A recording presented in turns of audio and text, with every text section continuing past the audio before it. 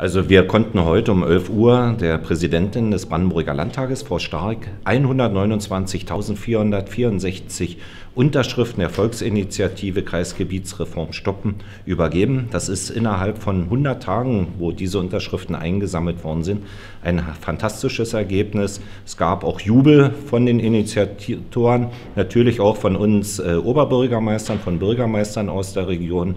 Und wir sind sehr, sehr zufrieden mit diesem Ergebnis. Wie geht es weiter? Was sagt uns jetzt die Zeitschiene?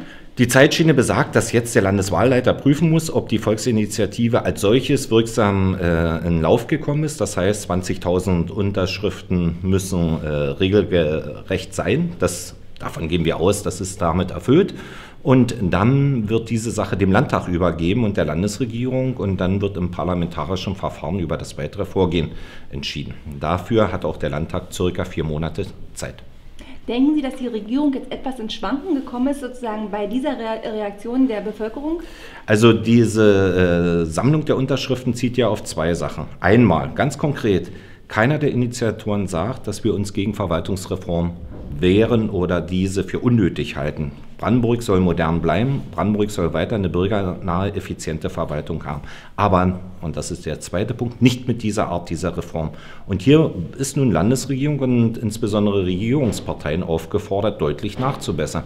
Ansonsten wird es dann sicherlich zur zweiten Stufe kommen, wo die Brandenburger aufgefordert werden, 80.000 Unterschriften, allerdings natürlich dann in den vorgesehenen Einschreibungslokalen zu leisten.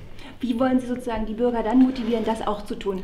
Das wird natürlich der Verein federführend fortführen. So ist ja auch der Verein äh, aufgestellt worden. Dazu werden wir uns in den nächsten Tagen und Wochen zusammensetzen. Natürlich werden wir auch noch mal die Reaktion der Landesregierung, des Landtages abwarten müssen. Aber von einem können wir ausgehen. Sollte der Landtag nicht maßgebliche Änderungen äh, einführen, wird es die Stufe 2 gehen. Ich glaube, da sind sich alle Initiatoren des Vereins einig. Ihr Gefühl für den heutigen Tag, mal ein paar Emotionen jetzt? Ja, am Valentinstag macht man sich Geschenke. Das ist ein schönes Geschenk, was die Brandenburger auch den Cottbus angegeben haben. Vielen Dank.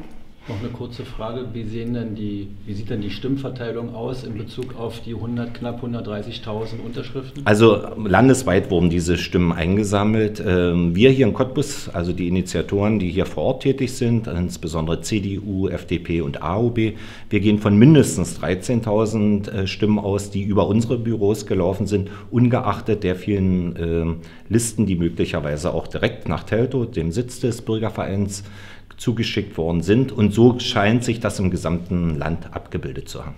Kurz noch eine andere Nachfrage. Man kennt ja Ihre Anliegen, sage ich mal, Ihre Probleme mit der Reform aus der politischer Sicht. Konnten Sie vielleicht auch so ein kleines Stimmungsbild der, der Leute, sage ich mal, von der Basis dann holen, was da so die Sorgen und Probleme sind? Also immer wieder ist nicht deutlich, warum diese Reform gemacht werden muss. Und äh, das ist ja auch der Punkt. Man spricht von einer Reform, die 2030 wirken soll und, und äh, stellt äh, Behauptungen auf, von der Überschuldung auch der Stadt Cottbus hingebracht, bis dahin, dass wir nicht zukunftsfest sind. Aber ehe man an Grenzen herangeht, sollte man alle anderen Möglichkeiten ausschöpfen. Das ist ja auch die Hauptkritik immer von mir gewesen. Was ist die Frage der Digitalisierung, des E-Governments? Wie können wir weiter bürgernahe Verwaltung erhalten und gestalten. Und auch das kommunale Ehrenamt, das wird immer unterschätzt. Also Kreistagsabgeordnete in den großen Flächenkreisen wie Elbe-Elster oder Spree-Neiße haben jetzt schon weite Wege vor sich. Wie soll das zukünftig sein? Bis einschließlich dessen, dass so eine große Stadt wie die Stadt Cottbus immerhin mit deutlichem Abstand die zweitgrößte Stadt des Landes Brandenburg eingekreist werden soll, wo es bis heute aus meiner Sicht keine nachvollziehbare Begründung gibt.